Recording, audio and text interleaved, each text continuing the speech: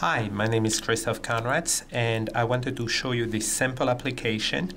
It's a, a mobile trader desktop uh, built with Flex 4 and deployed on Air for Android on my Nexus 1 phone here. So as you can see, I have a couple of stocks that I'm watching and I get updates in real time. And so the first thing that I will do is uh, select a stock and uh, press the watch uh, button. So what I get here is a chart uh, that gets updated uh, in real time and I can actually uh, look at that chart in landscape view and I'll zoom in a little bit and you see that um, the chart still gets the updates as we uh, get them in the application. It, it's updated uh, in real time. So I'll press the back button here and now press the history button. And what you get here is a Google Finance-like chart uh, that shows me the history of that stock. So I will use my finger and uh, touch events to navigate along the time axis at the bottom of the screen here. And I can also zoom in and zoom out.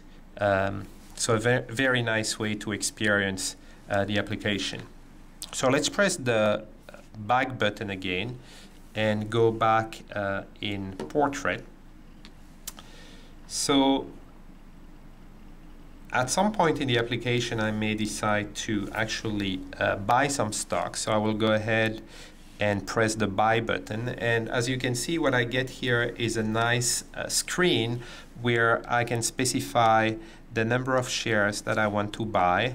You can see that I have a smaller version of the real-time chart here and it's still moving because as long as I don't press the buy button, the price is still changing. Now we'll go ahead and uh, press buy and this is the confirmation of my order click OK and I'm back to uh, the main screen of my application. The last thing that I wanted to show you in this application is actually the integration with the news. So with a specific stock selected, I can go ahead and uh, press the news button. As you can see now it's uh, showing me the uh, the news uh, for uh, that specific stock and then I can again press the back button and that will take me back in my application where I left it.